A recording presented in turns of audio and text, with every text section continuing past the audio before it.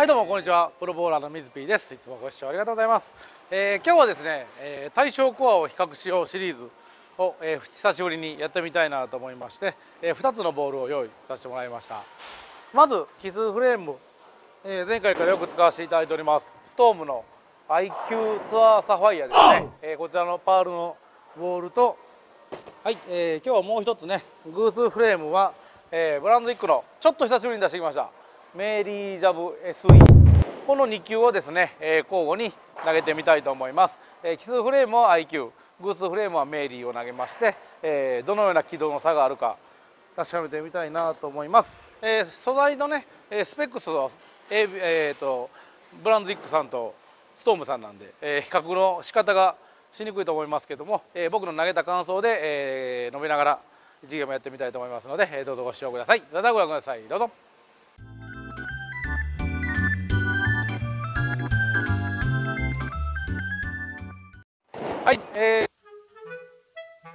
のボール。ということで、えー、今日は2つのボールを。ます、えー、IQ ツアーエメラルドですね。奇数フレームはこのボールでいきます。さあ行きましょう。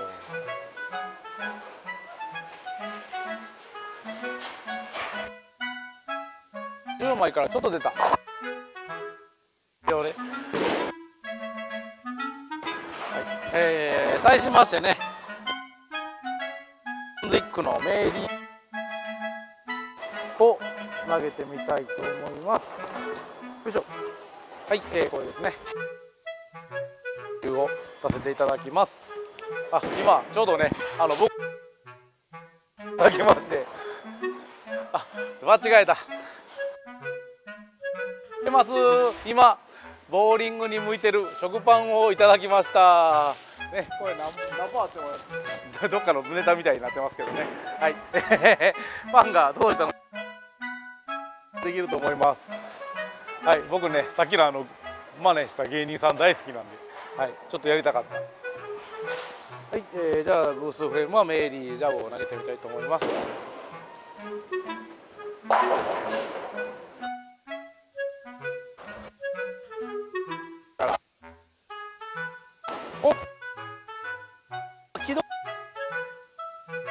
りを。対象コアのパールなんでオイルにはすごく敏感です。けどこのどう言ったらいいかなマスバイアスのあるボールに対して個人ブレーキがかかるのも遅いけど対象コアなんでね過激な動きはしないですよね。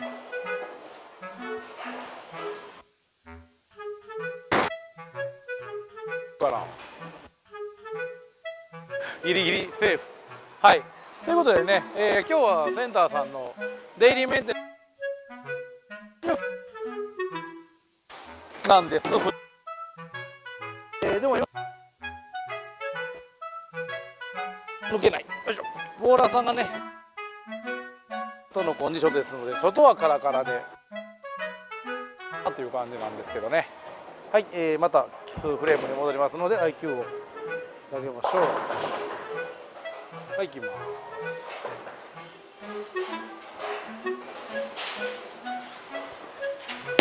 ちょっと中行きますさっきよりああのボールはね薄め。これデイリーコンディションっていうかねちょっとミディアもうでもねこのメイリーも捨てがたくてですねボールを絞れって言われるとその時のセンター。よって持っていくボールが変わると思いますけど、はい、ジャブもね僕の後半戦の守り神みたいなもんなんでほとんど試合以外では使えません。はい、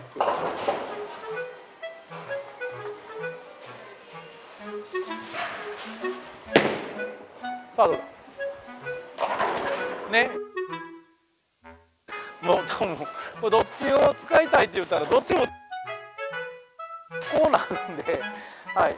まあ、メーカーさんとは違うのでね工場も素材もスペックも全く違うんですけどやっぱりねこう最小コアのボールってねこう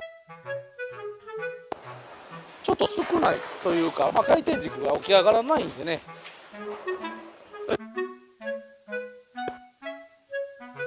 おとなしく感じますけどね。はい、えー、第5歩で。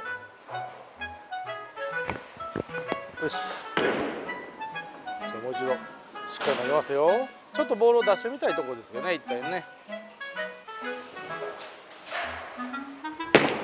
はい出してみました。おおね。出してみてもいい感じの収まり方。でも今ちょっと正直タップかなと思ったんですけどタップどころじゃなかったですね。全然 OK でした。はい、えー、そしたらまた、えー、今度はメイリージャブを出しに行きたい。と思います。しっかり出てってくれますように。はい行きます。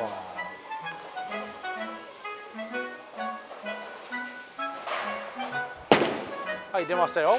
戻るかな？おおこれ全く同じとこ投げれますね。こんなにメーカーが違うのに例えと狙うとこが一緒になることが珍しい。はい7フレ。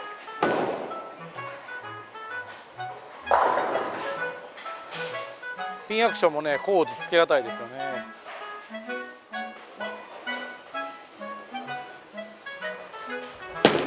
ちょっと中から出過ぎたかなこれは。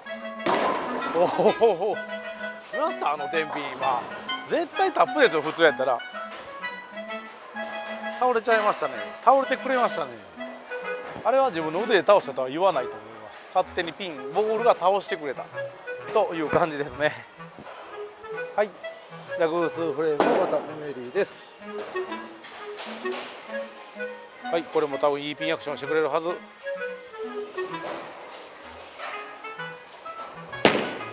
と出過ぎたかな。おお惜しい。穴倒れてるんちゃうの？ねちょっとリリースミスなんであれしっかり押し込めとったら倒れてたんじゃないかな。はい。じゃあ天品ですね。今日は天品も省略せずに投げましょう。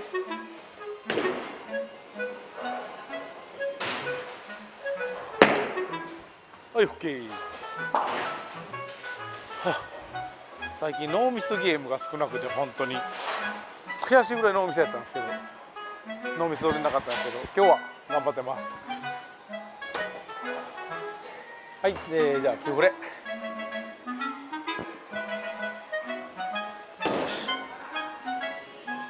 さあしっかりジャストに行きたいな。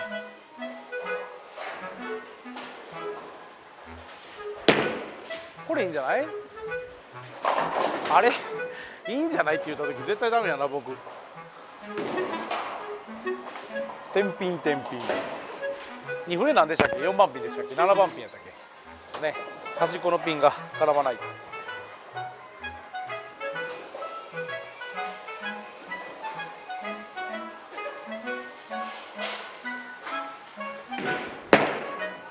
し。はい。OK さあ点フレジャブでパンチアウト。あわかりました。じゃあもしねこのジャブで1投目ストライクだったら今ここにたまたま1個だけ非対称のコードワンを置いてますのでコードワンを投げてみましょうか。ということはこれはまずストライクでないといけない。ということで投げます。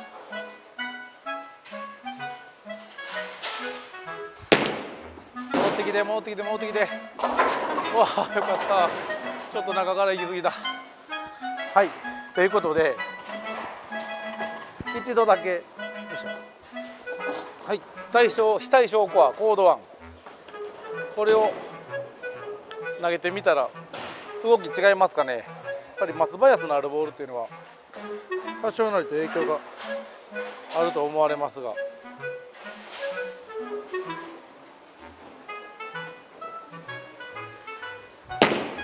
さあやっぱりブレーキがかかってますね。もう走りが明らかに走ってなかった今、まあ、カバーの強さももちろんありますけどやっぱりねあのマスバイアスを作っているいうことはそれだけそれなりの答えを持ってるからやってるわけで。やっぱりね息っぷりがいい時は対象コアじゃなくて非対称を使う方がいいかも分かりませんね。はいじゃあスペアいきます。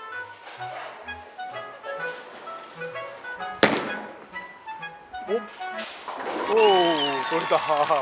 この前ねボーリーグでもあれ取れたんですけど4球得意になってきた。はいということで今日の結果は238点でした、えー、使い分けで230出れば上出来ですね。はいそれではエンディングに行きたいと思います。